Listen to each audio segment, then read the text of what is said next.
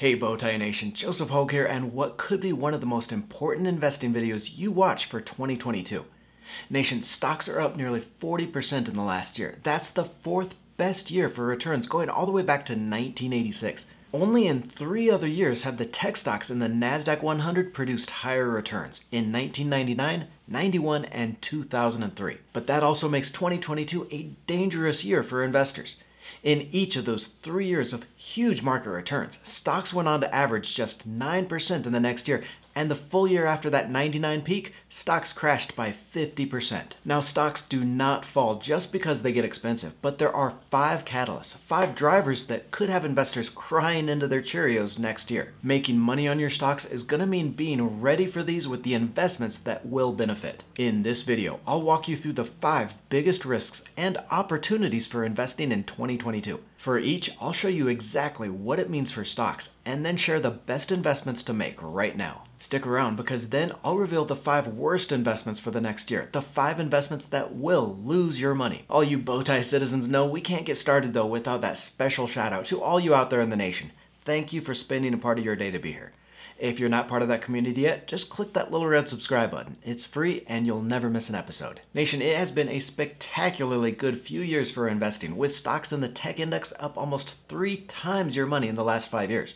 Now, that is unprecedented, and you're going to start hearing a lot of predictions for 2022 in the next few months. But what I want you to remember here is that stocks do not crash just because they get expensive or because returns have been so great, but it does make it more likely. If we go back to that annual returns on the NASDAQ 100, all the way back 35 years, here I found the stock returns for the following year. And if you look at what happened to stocks after the best 18 years in that data, they posted an average of just 4.5% return in the next year. Just as interesting though, if you look at the 18 worst years for stocks, you see the group went on to return an average of over 20% in the following year. And in fact, we see that warning in the expectations for returns from some of the Wall Street's biggest firms. Morningstar surveyed the 10 year expected returns from five firms here, and look at the column for US equities, stocks. This is what these analysts expect investors to earn each year over the next 10, and it's not pretty. Analysts at BlackRock, the world's largest fund manager, expect US stocks to produce just 5% return a year over the next decade. Now, even Vanguard, the most optimistic of the bunch, expects investors to make less than 6% a year. And now, what this tells me is that when stocks do get this expensive after returns have been so strong, it makes it all the more likely that something comes along to bring prices back down to earth. Whether it's a financial crash like in 2008, a bubble burst like in 2000, or a broken derivatives market like in 1989. But that does not mean that you can't make money. What it does mean is you need to be ready for that something to come along. You need to be watching for the biggest forces on the market and understand which stocks will benefit. And before we get started on those market forces and the five best investments, I want to get your input on this. I'll watch through the video, watch those five market forces, and let me know in the comments below which do you think is going to be the biggest driver in 2022. What do you think is going to be that major theme next year to drive stock prices? These first three are possibly the biggest drivers to stocks next year, and we're starting with the big one inflation. Prices have already jumped 5% in the last year, and the Fed has gone from saying higher prices would only last a few months to temporary, to finally admitting that inflation is higher than expected. Just last week, Jack Dorsey, billionaire founder of Twitter and Square, said the H word, hyperinflation, and a warning that we could be heading for those days of carrying cash in wheelbarrows, similar to 1930s Germany where cash was worth more as wallpaper because of that triple digit inflation. Now, I don't think we get anywhere near hyperinflation next year, but Chair Powell and everyone else in the government wants you to believe that we're just going to get a little inflation. Well, like they say though, inflation is like getting pregnant. You don't get just a little bit. We will have higher prices in 2022. Rents are already skyrocketing and catching up with those home prices. Giant producers like Nestle and ConAgra are already warning about those higher food prices. And for this, there may be no better investment than Bitcoin, with JP Morgan recently calling out the cryptocurrency for its inflation fighting power. Now, all you out there in the nation know I haven't always been cuckoo for crypto puffs. I was skeptical and just started buying for a long term position this year, but The more I learn about Bitcoin and other cryptocurrencies, the more I believe this is a legitimate asset class with a strong upside. I'm up more than 50% on my investments in Bitcoin and these other cryptocurrencies, and have partnered with BlockFi for a series of videos, including why I think Bitcoin could go to over 190,000 in the next few years, and even higher if inflation takes hold. I'll link to a few videos in the description below to help you understand how Bitcoin and the investment works. It takes less than five minutes to open an account on BlockFi, and you can deposit directly from your bank. You'll earn interest up to 9% on your cryptocurrencies and can even apply for the first Bitcoin Rewards credit card that pays cash back in Bitcoin. Click on the link I'll leave in the description, and you'll get up to $250 in free Bitcoin when you open an account. Next on our list of best investments and market risks is the rise in interest rates. And we're going to see a lot of these risks and investments are related here you'll get higher interest rates because of that higher inflation, as well as things like a tight labor market that we'll talk about next. So then the idea here is to find the best investments that work across all five of these risks, or as many as possible, to give you the best chance of making money. The interest rate on the 10-year treasury bond, the benchmark for all other rates, has doubled in the past year and and folks, I know this isn't as sexy as talking about the next hot stock, but that is a huge move in borrowing rates and will affect the stock market. For example, when the rate on the 10-year treasury increased less than a percent in the first three months of the year, tech and growth stocks got absolutely crushed. Stocks in the NASDAQ index, the green line here, lost 8%, and growth stocks in the ARK Innovation Fund plunged 33% in just a few months. And those interest rates are expected to keep moving higher, up to 2% by the end of the year, and this is directly tied to that inflation, so it could go much higher. In that scenario, the only stocks safe in the market could be those in the financial sectors, and specifically the bank stocks. And why this happens, you just need to remember how banks make money. Banks will continue to pay out those rock bottom rates on your savings, but as interest rates rise, are going to make more money on the loans they provide. That rise in interest rates over the last year is a big factor on how our 2021 Bowtie Nation portfolio has been able to beat the market by more than 14% and we positioned early in stocks like Wells Fargo for a 50% return and Citigroup for 33%. And here, not only do bank stocks give you the opportunity for that higher return, they're also going to protect the rest of your portfolio if those higher interest rates start hitting tech stocks again. And here in this group, I still like shares of Wells Fargo, ticker WFC, as well as Huntington Bank shares, ticker HBAN. And we're already hearing about this next one, and it could be one of the biggest market forces in 2022 the labor market and that worker shortage. Nation, I worked as a labor market economist for the state of Iowa for five years. I studied this stuff, I lived it, and right now I can say this is the craziest labor market we have ever seen. There are now more than 11 million job openings, but only 8 million people looking for jobs. The last two monthly jobs reports have come in surprisingly bad, with just 194,000 jobs created in September versus 500,000 expected because employers just can't get people to come back to work. The labor force participation rate, that's the percentage of eligible workers employed or looking for a job, is now just 61.6%. That's the lowest it's been since 1976. So here between millions retiring over the last few years, people dropping out of the workforce on their investing profits, and, and people that are just still too afraid to go back to work, there is a historic worker shortage, and it's going to lead to higher wage pressures over the next year. Now that's great for workers, but companies are going to get slammed on those higher costs. And for a lot of industries, employee wages are a third or more of their total costs. Now, increasing that is going to destroy profits and hit their stock prices. So, preparing for this means finding those stocks of companies with relatively less workers in that sales process. And the best way to find this is by focusing on companies with more of their sales online. And companies focused on booking sales through their website rather than in a store aren't going to have to compete for workers, and that's going to protect their profits. For example, Tapestry, ticker TPR, owner of the iconic Kate Spade and Coach brands with 90% of its sales direct to consumer. And the pace of e-commerce growth here has been phenomenal. After a threefold increase in online sales last year, the company was able to build on that with 55% growth in the most recent quarter, adding another 600,000 new customers in North America alone. Now, that digital first sales focus is going to protect profits at Tapestry versus competitors like, like Target or TJ Maxx that get a much smaller percentage of their sales from online. Another great example here is WW Grainger, ticker GWW, a maker of industrial supplies and tools out of Chicago.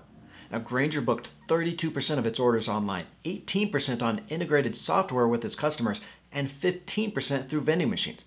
That's 75% of its sales with very little sales support or staffing needed. Our next market risk and best investment for 2022 is going to be in a different direction from those others, with the risk of slower economic growth. Whereas those first three risks would be in most likely in a growing economy, there's also the very real possibility that economic growth slows down next year. The Federal Reserve has been pumping over $120 billion into the system each and every month through its bond buying program, and that's on top of the trillions of stimulus and other programs. And combined with the federal government spending, more than $10 trillion has been pushed into the economy over the last 18 months, helping to push economic growth up 6.5% higher in the second quarter. But that's about to come to an end starting this month. The Fed is expected to start reducing its monthly bond purchases, pushing less money into the system each month until it stops altogether sometime mid 2022.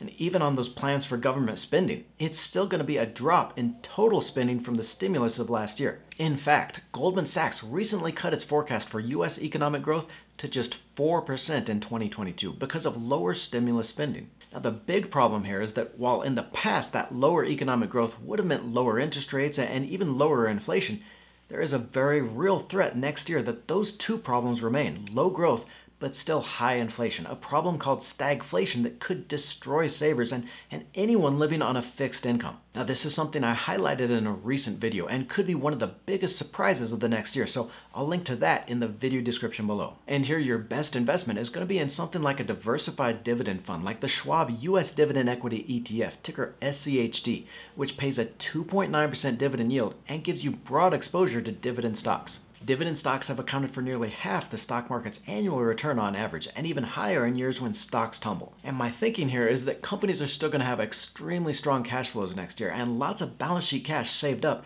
but maybe not ready to reinvest that cash ahead of slower economic growth. Instead, they might decide to return more of that money through dividends and share buybacks, boosting the stock price and funds like this one. Our last market risk, that unforeseen black swan event, the unexpected story that slams stocks for a bear market. And it's right about here that the pundit on TV drops the dumbest piece of investing advice, saying, expect the unexpected, which makes absolutely no sense if you think about it, but there is something to be said for looking for that one investment that should hold up no matter what. So here you're looking for an investment that doesn't follow the stock market, something in a different asset class that will produce returns even if stocks crash. And one of the best opportunities I've found in a long time is what's called the cash and carry trade on Bitcoin and Bitcoin futures. Now this gets a little complicated. I'm actually preparing a full video to walk you through this, so don't forget to join the community and click that bell icon to get notified, but I've been making an annualized 20% return on this, and it's nearly risk-free. The cash and carry trade means you buy an asset, usually a commodity or a currency, and then sell the futures contracts against that at the same time. And how you make money here is by finding those assets where the current price is less than that futures price, so you lock in that difference. Now let me walk you through an example, because it really is actually very simple. We can go to BlockFi and see the current price for Bitcoin is at $63,011 each. Now we can go here to the CME, that's the major exchange where futures are traded, and we can see each month's contract prices for Bitcoin. Now this October contract expires just four days, so we'll use the November futures for a reference. And you see here, one month futures for Bitcoin are now trading at $63,928 each. That's more than 1.4% above the current price in the market. Another way to look at this, there is a $900 difference per Bitcoin between the current price and these contracts to buy or sell. So then what you can do, and this is how a lot of big institutional investors are making a lot of money right now, but is you buy Bitcoin and you hold it in your account and at the same time you sell those futures contracts against it. And this means you have the Bitcoin and at the same time a contract to sell those Bitcoins to someone else when that contract expires each month. And the way this works is that as each month's futures contract gets closer to that expiration date, the price moves closer to the current market price. You see here the October contract is just $199 higher than the current Bitcoin price. On the last day of those contracts, that price is going to match the market price on that day. So then you see how this is a risk-free return that doesn't matter what the market does. If the price of Bitcoin goes down, then I lose on that Bitcoin that I bought for $63,011, but I gain the same amount on that futures contract that I've sold. If, on the other hand, the price of Bitcoin goes up, I've gained that money on the coins that I own, but lose the same amount on the futures contracts. Now, the futures contracts are going to be worth the same price as that Bitcoin in a month when that contract expires, and I've pocketed the $900 difference. And then you can roll this over every month. On the last few days of those futures contracts, you buy those back, close out the position, and then sell the same amount for the next month. You're going to collect another 1 to 1.5% premium on those new futures contracts, so you're making 13 to 20% annualized whether stocks go up or down or whether Bitcoin goes up or down. It just doesn't matter because you're locking in that profit on the trade. In fact, the only downside here is that you do give up the potential profit on Bitcoin over each month. You've completely covered your Bitcoin with those sold futures contracts. You've locked in the profit each month and made it a risk free trade, but you don't get that upside on the Bitcoin as well. Now, I know this seems like a complicated strategy, but watch for that detailed video because it really is a great investment that's going to produce a percent or two a month with no market risk. Now, all you out there in the Bowtie Nation know not all is going to be rainbows and unicorns next year. Like we saw in those NASDAQ annual returns, this market is ripe for a sell off, and those five market forces will weigh on other investments. These five investments aren't guaranteed to lose money, but they are already starting with a strike against them. On that inflation theme, stocks of consumer staples companies have already been seriously hit this year with the lowest return of the 11 sectors in the economy, just 5.6% versus the 21% return on the market. Now, these are companies selling things that we need to buy, like food and personal products, but the industries are just so competitive that they can't raise prices to cover those higher costs of production. We're already seeing that profitability come down, with stocks in the sector only making 6.8% profit on their sales last quarter, compared to a profit margin of 7.1% during the same quarter last year. And this could continue to get worse, so I think you avoid stocks like Clorox, Procter & Gamble, and Kellogg all the companies in that sector are going to face a tough year, but especially those food and personal care products. Now, on that higher interest rate theme, it's hard to find a worse investment than bonds. You see, because bonds pay those fixed interest payments, as interest rates rise, that payment starts to look less attractive. Why buy a bond paying a 3% yield when others in the market are now paying 5%? So bond prices tend to go down when rates go up. And you see here a chart of the three Vanguard bond funds with the short-term bonds in red, intermediate in green, and purple for those long-term bonds. And this goes by the average time to maturity for those bonds. So the short-term bond fund invests in bonds with less than five years left, while, while the long-term bond is going to hold those for a decade or more. And you see all three have lost money this year, from a 1.7% loss on the BSV to a 7.4% loss on the BLV. Bonds are supposed to be that safety investment, the kind of investment that you buy when you need the security and the fixed income, and they're getting slammed on both inflation and higher interest rates. Now, I think you can still hold something in that short term bond fund, the BSV, for security, but Real safety next year is going to come in diversification outside of stocks and bonds in real estate and cryptocurrencies and even assets like artwork. Worst investment number three for 2022, and I think the discount retailers and restaurants are going to get hit hard on that worker shortage. More than 4 million Americans quit their job in August alone. That was a record, and they did it because they can always get another job at higher pay in a heartbeat. Those workers are being sucked out of the lowest paying jobs at discount retailers and those fast food joints. And so I think a lot of those companies, the dollar stores and the McDonald's, are going to get hit here from multiple angles. Inflation is going to increase their costs that can't be fully passed on to the consumer, so, so they get hit a hit to profits. But they're also going to have to raise their wages more, which is also going to hit profits even more. Now, any company with workers still making less than 15 bucks an hour is to see that wage pressure come down on it like a tsunami. This next one is to be controversial, but in that low growth scenario, tech and growth stocks could feel the pain. Now, long term, I think you can still hold those internet and the tech stocks, but if you get a little squeamish when prices fall or, or you've got less than a few years to needing that money, I say you take your profits and run because it could be a very bad year for tech. Profits for stocks in the technology sector are forecast to fall from 27% annual growth this year to just 9% in 2022, and sales growth is set to slow to a crawl. All you have to do is look at a chart for any tech stock index like the NASDAQ here or the growth ETF to see that Something broke in February of last year to take all these stocks straight to the moon. And of course, we know it was the Fed and that wave of money that broke the market with those rock bottom rates and the money pouring into stocks. But folks, the bill always comes due.